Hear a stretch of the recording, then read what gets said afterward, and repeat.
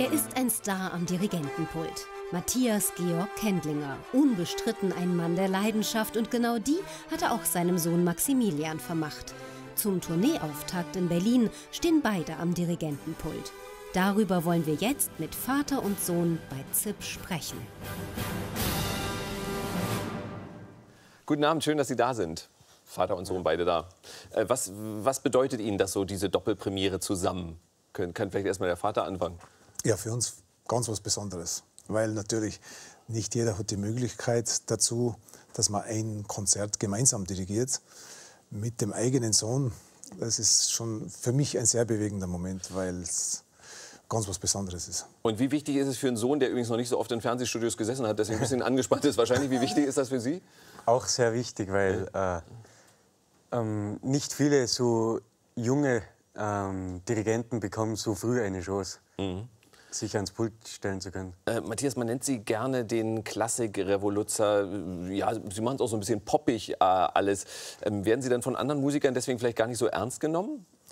Von das, diesen ganz Ernsthaften, die nie lächeln? Genau, die ganz, die ganz Ernsthaften haben ein kleines Problem mit mir weil ich nicht zum System gehöre sozusagen, weil ich ganz ein anderes System gebaut habe und ob ich jetzt ein echter Revoluzer bin oder nicht, das weiß ich nicht.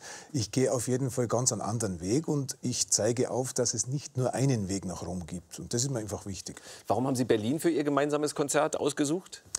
Wir haben Berlin und äh, Leipzig, also ein genau, Konzert Sie waren, jetzt kommen ja gerade genau. aus Leipzig, genau. Berlin, wir sind so gerne in Berlin, äh, weil wir uns irgendwie Tiroler und Berliner, ich finde, wir verstehen uns so gut. Man sagt sich so direkt alles ins Gesicht, was man fühlt und man kann offen mit jedem reden. Wir lieben nicht so sehr das um den Brei herumreden, sondern Leute, die geradeaus was sagen, wo man weiß, wie man dran ist. Und das Publikum ist fantastisch in Berlin. Die reagieren genauso, wie wir, wie wir uns fühlen an dem Abend. Wie aufgeregt sind Sie? Äh, vor dem Auftritt? Ja. Es geht eigentlich mittlerweile. Ja. Ganz am Anfang war natürlich das große Zittern immer, das aber die gewisse Aufregung gehört schon dazu. Also ich würde komplett zittern an Ihrer Stelle, aber gut, wenn Sie da entspannter sind, gleich äh, reden wir weiter. Vorher gucken wir uns an, was die beiden bisher schon so gemacht haben. Vater und Sohn in Berlin, Gendarmenmarkt. Hier im Konzerthaus werden sie am Montag dirigieren. Vater Matthias Georg, 52 Jahre, und Sohn Maximilian, 18 Jahre.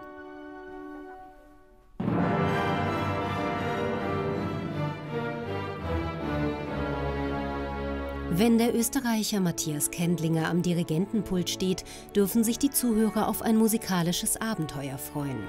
Kendlinger. Der Name steht für Intensität und Spielfreude und für einen ungewöhnlichen Werdegang.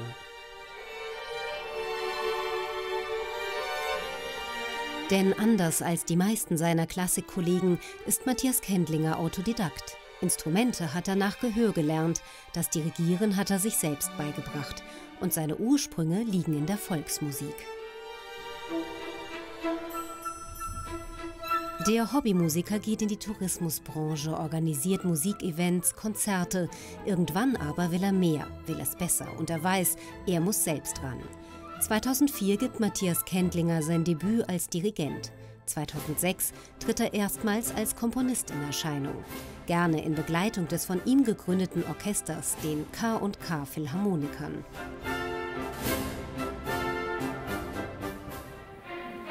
Und am liebsten in Gesellschaft von Maximilian, dem die Musik in die Wiege gelegt wurde. Mit 13 Jahren überreicht sein Vater ihm zum ersten Mal den Taktstock. Seitdem dirigiert auch er regelmäßig.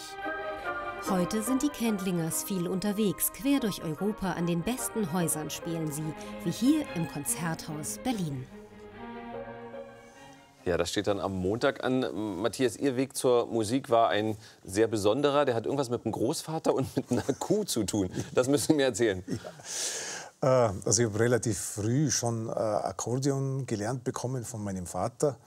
Äh, da habe ich so kleine Hohner gehabt und dann war irgendwann, wenn ich älter geworden bin, so 16, 17 Jahre, war der Traum da, ein, eine Hona Morino zu haben. Das war so wie ja, ein, ein Lebenstraum sozusagen. Und mein Großvater, der hat es gehört und der hat mir dann, ich habe gesagt, ich träume schon die Nacht davon und der hat mir dann am nächsten Tag beim Frühstück erzählt, du, äh, wenn du das wirklich machen willst, dann werde ich eine von vier Kühen für dich verkaufen, damit du dir das Akkordeon leisten kannst. Und das hat er gemacht? Das hat er gemacht. Meine Güte. Äh, Maximilian, wann haben Sie gemerkt, das Dirigieren, das wäre auch was für mich? Äh, als ich 13 Jahre alt war, ja. mich hat das eigentlich schon äh, als kleines Kind schon begeistert, wie der Papa das macht. Und ja, war schon immer begeistert. Wir haben da Bilder, ich glaube, wie Sie das als, als 13-Jähriger gemacht haben, das können wir uns mal angucken. Und da frage ich mich natürlich, wenn man 13 Jahre alt ist und man steht da ja vor, ich möchte jetzt nicht sagen älteren Herren, aber schon gestandenen Musikern, wird man da nicht unfassbar nervös? Äh, es geht, weil ich kenne die Musiker, ja. auch freizeitlich, und die sind alle so nett zu mir.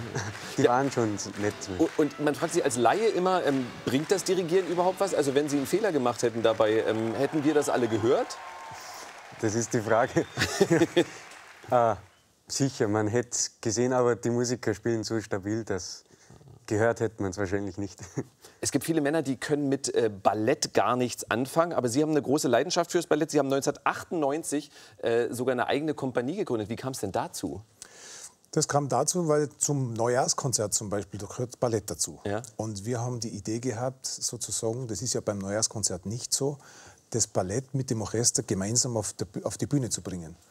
Und da haben wir einfach eine, gute Ballettkompanie gebraucht und da haben wir das gegründet. Ich bin ja früher sowieso Tanzmusiker gewesen, also Tanzmusiker. Tanzmusiker, ja. wie man so schön sagt bei uns in Tirol. Und deshalb war die Beziehung zum Tanz immer schon da. Äh, wenn man den Vater hört, der ist ja unglaublich busy. War der in Ihrer Kindheit überhaupt mal zu Hause oder war der immer unterwegs auf den Bühnen der Welt? Und Vorsicht, er sitzt ja neben Ihnen. also er war viel unterwegs, ja. aber wir sind auch mitgereist.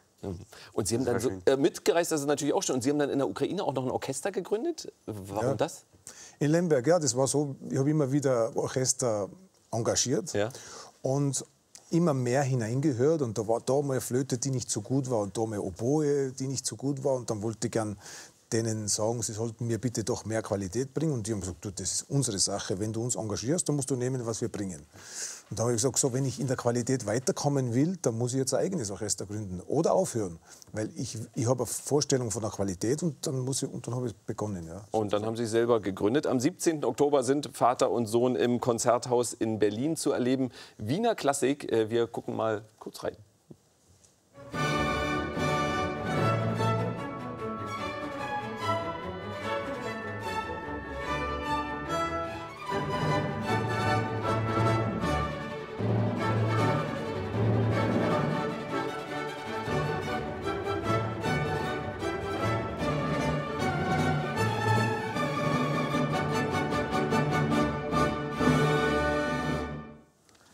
Wenn Vater und Sohn gemeinsam proben und auch gemeinsam auftreten, Maximilian, lässt er sie dann machen, wie sie wollen oder wie sehr mischt er sich wirklich ein?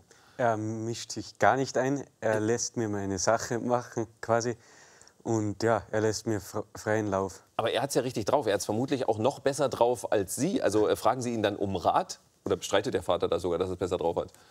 Nee, also ich frage ihn oft um, um seinen Rat. Und wenn mal was nicht passt, dann sagt das ganz sanft, bringt das mir ganz sanft bei. Das passt gut. Und Sie werden, glaube ich, die Hafner-Sinfonie von Mozart dirigieren. Warum Mozart? Was gefällt Ihnen an Mozart? Mozart war jung und er hat diese Symphonie hat er mit 17 Jahren geschrieben. Deswegen äh, wollte ich auch diese Symphonie dirigieren, weil das passt. Ich, ich habe diese Symphonie zum ersten Mal mit 17 Jahren dirigiert. Sie dirigieren Klassiker, aber auch eigenes, was Sie selbst geschrieben haben. Äh, ist das ein Unterschied? Ist man bei dem, was man selber geschrieben hat, dann noch ein bisschen genauer und noch präziser, weil man ja. weiß, was man wollte? Ja, das ist manchmal ein Problem. Man ist noch genauer, noch kritischer, noch selbstkritischer in meiner Funktion als Komponist und gleichzeitig Dirigent und Orchestergründer hat man sozusagen drei Positionen zu vertreten und es ist ein bisschen mehr Stress, muss ich sagen, aber trotzdem will man es selber machen. Das Konzert ist ja, wir haben es schon gesagt, am Montag. Das heißt, Sie haben noch ein komplettes Wochenende in Berlin vor sich. Wenn Sie denn zu zweit in Berlin sind, erobern Sie die Stadt gemeinsam oder geht, geht da jeder seine eigenen Wege? Ich könnte mir vorstellen, Sie haben andere Interessen als der Papa. Eigentlich sind wir wie beste Freunde, ja. sagen wir so. Was, was machen Sie dann so an so einem Wochenende in Berlin? Was ist der Plan? Wir sind nur noch heute da. Ja. Und wir gehen heute gut essen. Ja. Wir haben einen Tipp bekommen vom RBB-Fahrer, äh, der uns aber, hierher Aber keine Namen sagen jetzt. Nein, nein, nein. Ja. Aber ein, eine Haubenküche sozusagen, und das werden wir mal besuchen, ist bei uns im, ums Eck beim Hotel. Ja. Und ähm, wenn Sie sich aussuchen dürften, wo soll die Karriere hingehen? Wann überholen Sie Papa? Das werden wir sehen, sagen wir so. Aber Sie haben das schon vor. Wir können es ruhig sagen. Muss es Ja, Ja, schon. Ja, das, das sollte schon das Ziel sein. Am kommenden Montag, am 17. Oktober, können Sie die beiden äh, sehr sympathischen jungen Herren im Konzerthaus Berlin Danke, erleben. danke. Es gibt noch einige Karten, also die meisten sind schon weg, aber ein paar Karten gibt es noch. Also gucken Sie sich das an, hören Sie sich das an. Vielen Dank, dass Sie da waren. Dankeschön. Danke für die Einladung.